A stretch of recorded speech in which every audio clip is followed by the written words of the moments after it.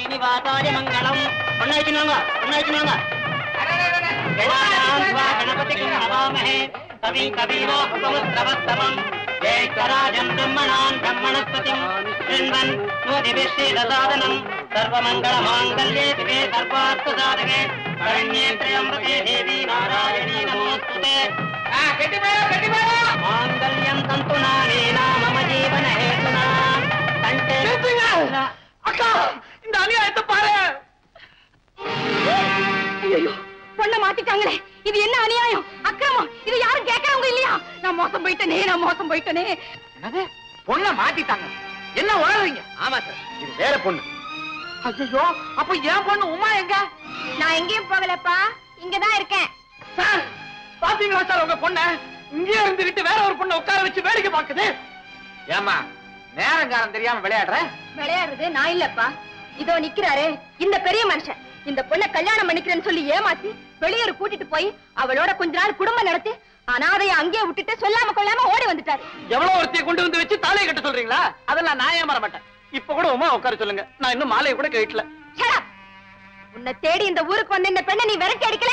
நானோ எல்லாமே கட்டுக்கத. இந்த பொண்ணை நான் சத்தியமா பார்த்ததே கிடையாது. என் சத்தியத்தை நம்புங்க. பொய் அத்தனையும் பொய். ஏமாற்றத்தை தாங்க முடியாம தற்கொலை பண்ணிக்க போன இந்த பெண்ணை நம்ம பாஸ்கர் தாப்பா காப்பாத்தினாரு. பாஸ்கரா? அதான பார்த்தேன். இப்பதானே எனக்கு எல்லாம் புரியுது. பாஸ்கரை நீ காதலிக்கிற.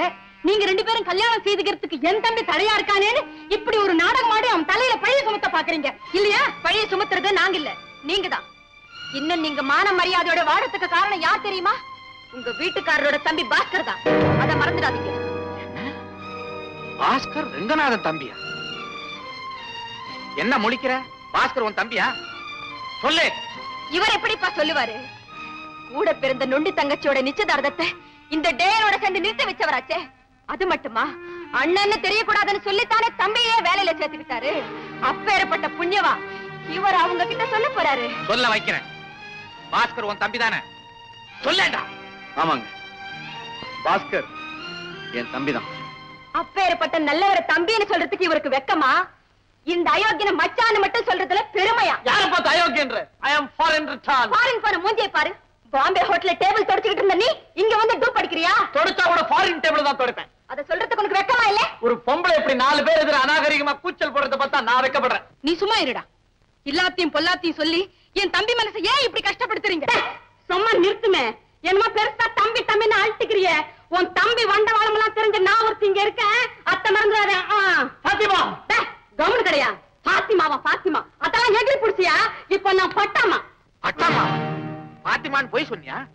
சொல்லலப்பா எல்லாம் இந்த டே செஞ்ச வேலை.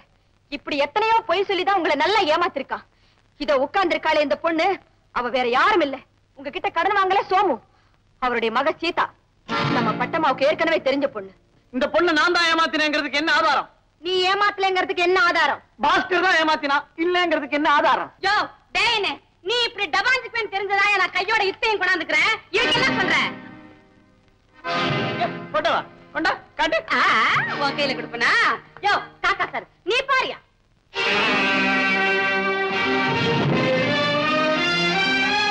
ஆமா இந்த பொண்ணோட இவன் சேர்ந்து எடுத்துக்கிட்ட போட்டோ இது எப்படி உனக்கு கிடைச்சது?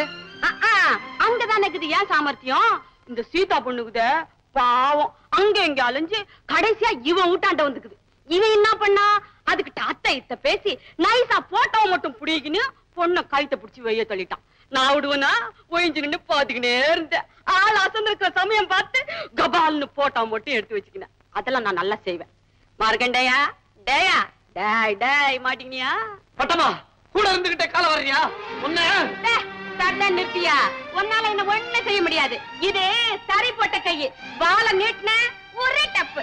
ஆளே அபேஸ் ஆயிடுவேன். சரிதான் பழிச்சு போ. மிஸ்டர் காக்கா போட்டோ எப்படி வேணும்னாலும் எடுக்கலாம். நாளைக்கே நீங்க ஒரு மைனாவோட இருக்கிற மாதிரி என்னால போட்டோ எடுத்து தர முடியும். உடனே நம்பிடுறதா? இவங்க எல்லாம் ஏதாவது உளரட்டான் நீங்க நினைக்கிறதா கரெக்ட் பேசாம உங்க பொண்ணை உட்கார சொல்லுங்க. நம்ம தாலியை கட்டுவோம் காக்கா. காக்காவது குருவியாவது சொன்ன பல்ல உடச்சு காக்கா! அவரை விட்டுடுங்க. தயவு செய்து எனக்காக விட்டுடுங்க. உங்களுக்கு கெஞ்சி கேக்குறேன். பாரா அயோக்கிய பயல உனக்கு எப்பேற்பட்ட பொண்ணு கிடைச்சிருக்குன்னு? ஊரறிய அவ கழுத்துல தாலி கட்ட போறியா இல்லையா? போமா நீ போய் உட்காரு. போ. காக்கா. ஓடான்ற காக்கா. ஐயரே மந்திரம் சொல்லுங்க.